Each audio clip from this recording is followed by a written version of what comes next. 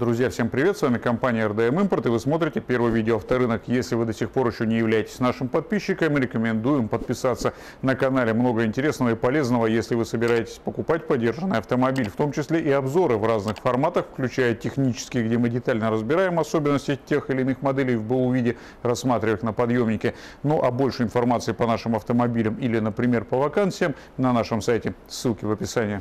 В настоящее время достаточно сложным вопросом является поиск бюджетного автомобиля.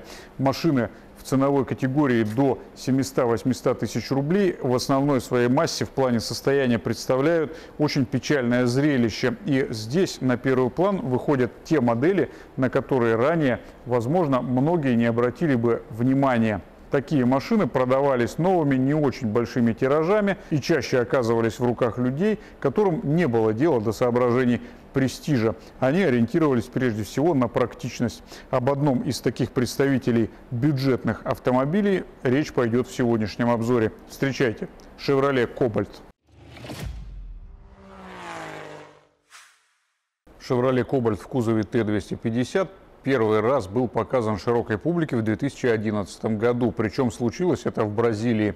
Эта машина разрабатывалась для рынков развивающихся стран, и ее сборка впоследствии была налажена на нескольких площадках. Большинство кобальтов на российском рынке узбекской сборки. И появились они в продаже в России только в 2013 году. На конвейере эта машина держалась до 2015 совсем небольшой срок по современным меркам. В части выбора силовых агрегатов у российского потребителя не было альтернатив полуторалитровому мотору на 106 лошадиных сил. Зато коробки передач механика либо автомат, причем автомат классического плана. Привод у всех Chevrolet Cobalt сугубо на переднюю ось. Существующий только в одном единственном варианте кузовного исполнения седан «Кобальт» не маленький автомобиль. Его длина 4 метра 47 сантиметров, ширина метр 73, а высота метр 51. Колесная база седана 2,62, что достаточно немало по меркам компакт-класса. Что касается качества лакокрасочного покрытия и его толщины, окрашен кобальт стандартным слоем для большинства современных автомобилей. Разброс показаний прибора для родной краски на этих автомобилях лежит в диапазоне от 90-95 до 120-130 микрон.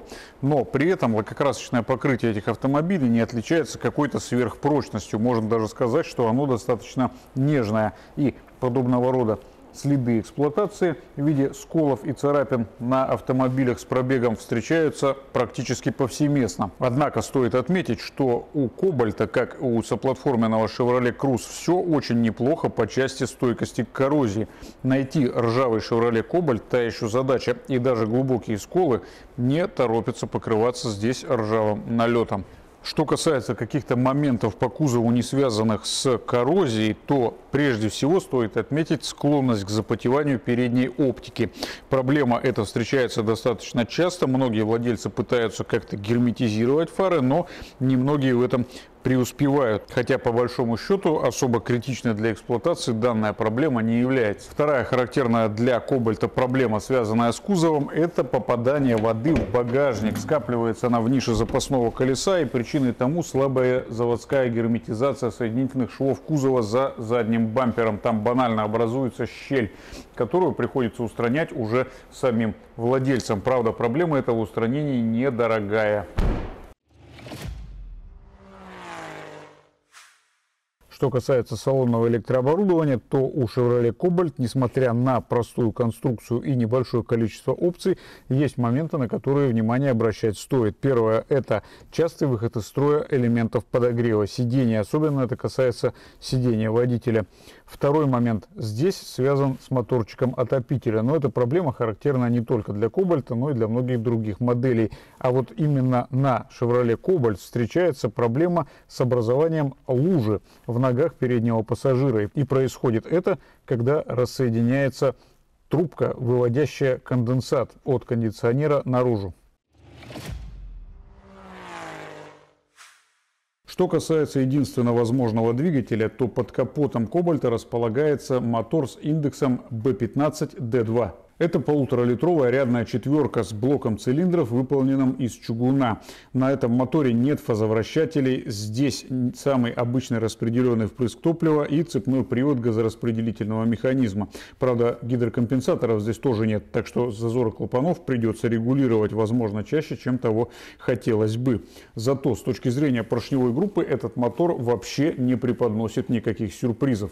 Кстати, даже ресурс цепи ГРМ здесь порядка 250 тысяч километров пробега, что очень даже неплохо по нынешним меркам. Этот мотор питается 92-м бензином и переваривает его достаточно спокойно. Правда, назвать его сверхэкономичным, особенно на машине с автоматом, язык уже не повернется от 12 до 14 литров в зависимости от сезона и пробок. Масло сюда заливается совсем немного, чуть менее 4 литров, вязкость 5,30. Интервал замены около 8 тысяч километров пробега. По сути дела, основная проблема, с которой сталкивались большинство владельцев кобальтов, это необходимость замены бачка расширителя. В связи с тем, что пластиковый штуцер, куда подходит шланг системы охлаждения, достаточно часто ломается. Снизить нагрузку на штуцер поможет использование более длинного шланга, чем стоит здесь по штату. В остальном, в общем-то, по моторам каких-то нареканий нет. Служат эти двигатели более 300-350 тысяч километров пробега. Что касается коробок передач, то на эти автомобили устанавливалось всего два варианта. Это механическая КПП типа D16, пятиступка, которой нет вопросов по надежности. Даже сцепление здесь у нормальных адекватных водителей ходит порядка 100 тысяч километров пробега. Единственный момент, к пробегу около 200 может потребоваться замена подшипника первичного вала. И то не факт. Так что при осмотре кобальта на механической КПП обращайте внимание на отсутствие постороннего шума при работе коробки. Жидкость меняйте проедете раз 80 тысяч километров и будет вам, как говорится, счастье. Что касается автоматической КПП, то это автомат General Motors 6T30. Именно эта коробка встречается на Chevrolet Aveo. Шестиступенчатый классический гидромеханический автомат зарекомендовал себя, к сожалению, не с самой сильной стороны. Но во всяком случае в соседстве с данным мотором, полуторалитровым, эта коробка более или менее ходит. И вы вправе рассчитывать на ресурс около 200-250 тысяч. Опять же, помните о необходимости часто менять здесь рабочую жидкость и ни в коем случае не перегревать КПП. Даже продолжительные пробуксовки для этой коробки могут оказаться критичными. При тест-драйве автоматного кобальта, соответственно, обращайте внимание на корректность работы трансмиссии без рывков, дерганий при переключениях. Что касается ходовой части Chevrolet Cobalt, которая, кстати говоря, очень мягкая и довольно всеядная, если говорить про типы дорожного покрытия, на которых она позволяет вам с комфортом передвигаться, то по конструктиву это самая обычная подвеска бюджетного автомобиля.